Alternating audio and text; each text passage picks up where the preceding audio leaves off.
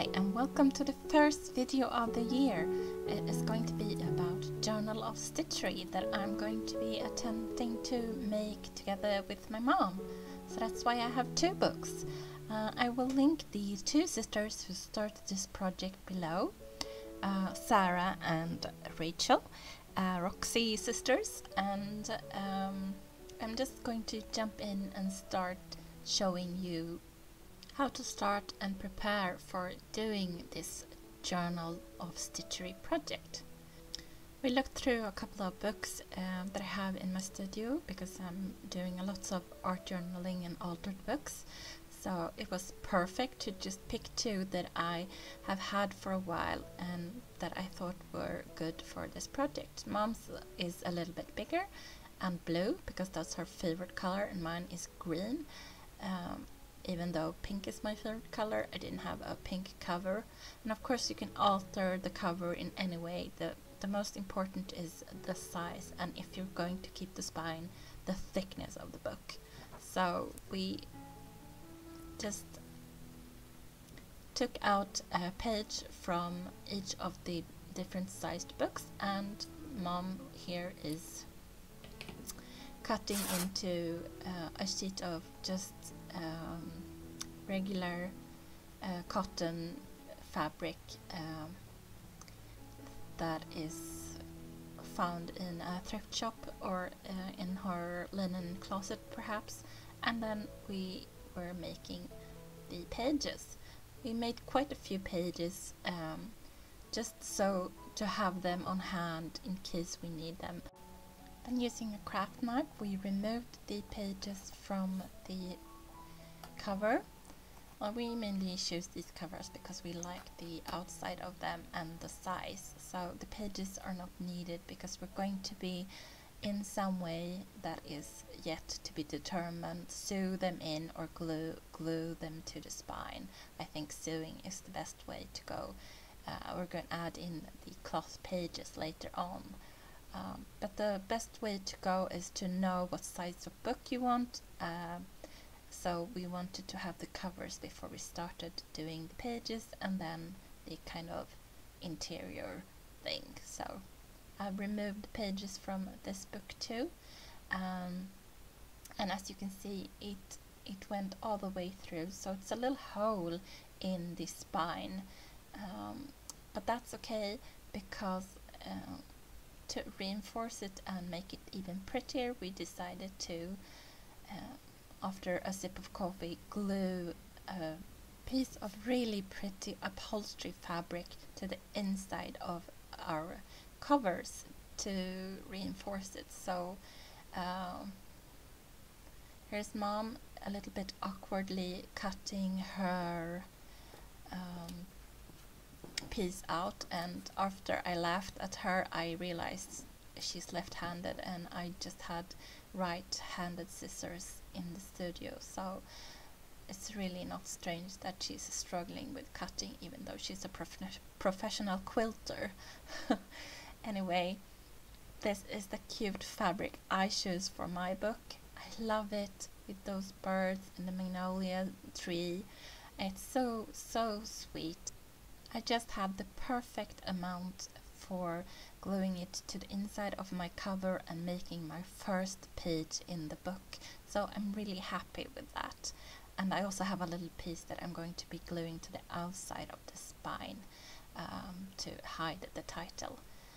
The glue we're using is just a regular PVC uh, with a little bit of water to make it go a little bit better down on. And then we just painted the whole thing and then adhere it to the fabric.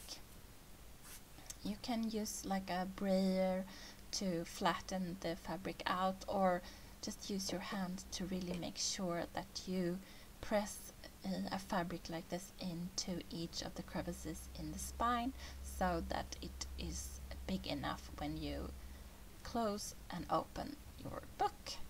So it's not really difficult and it and it is it turns out really beautifully especially when you have like a, a bit thicker fabric that the glue doesn't bleed through uh, I think it turned really nice so after I glued the whole piece down, I took a couple of other thicker books and put them on top to make it um, dry flat.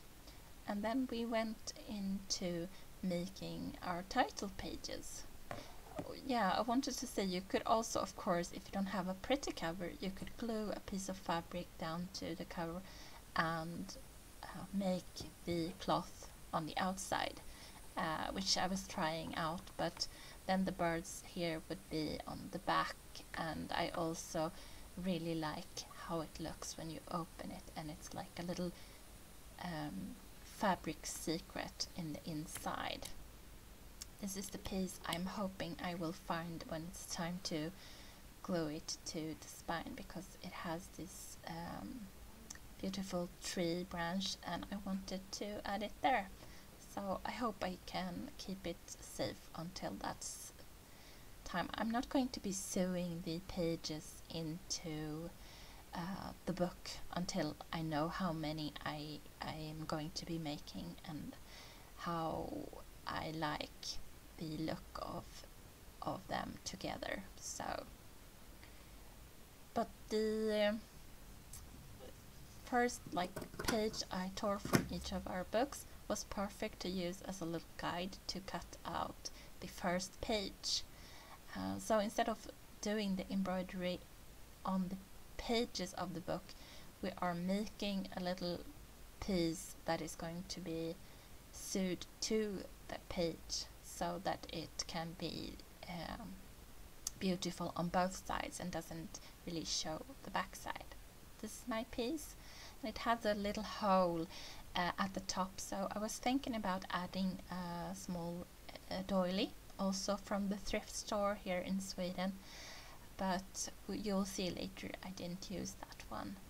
Uh, made a guide to how I wanted to write my title, Journal of Stitchery. Um, the hashtag is Roxy's Journal of Stitchery, but I, I'm of course calling mine iHanna's Journal of Stitchery, and mom is Yvonne.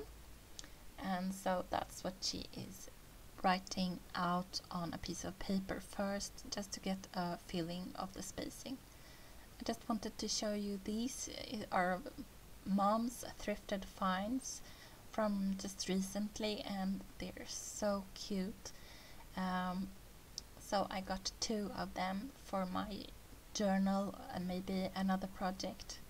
And then I choose a silver thread and um, I'm just filling in the blue that is the washable pen that will just wash off with water later on um, and making a little French knot as the dot on the eye.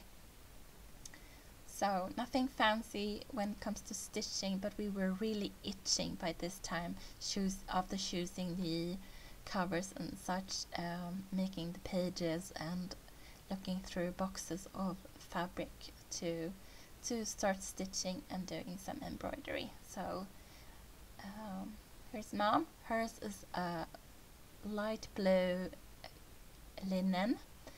Um, she she chose to do her as a label as well because her fabric also has a lot of uh, imagery and texture and was difficult to see the text on top of that. So we made it like little fabric labels that will go on the first page on the inside of our books. Um, and I am sure we will add in the year as well when we are making these 2022 uh, together with a bunch of ladies who are already sewing on the second page or third page I think.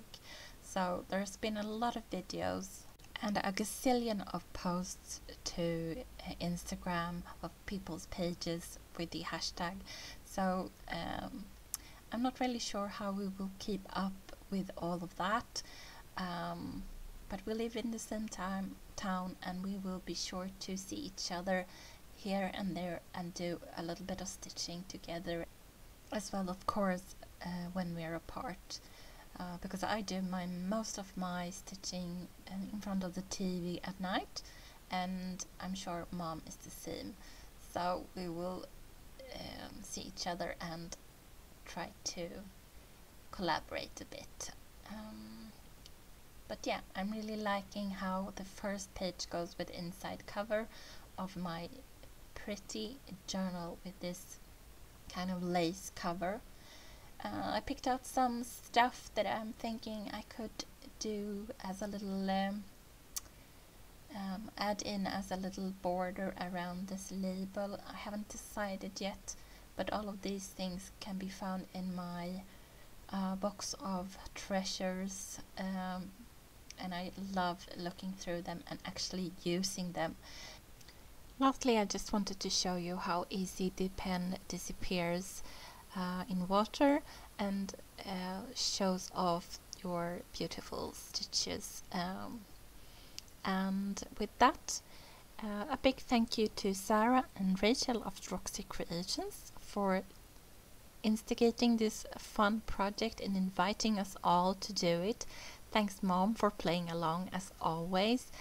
And if you want to see the finished result of um, this page, just visit my blog and uh, where I also announced that I'm attempting to do 365 collages this year again. So stay tuned for more.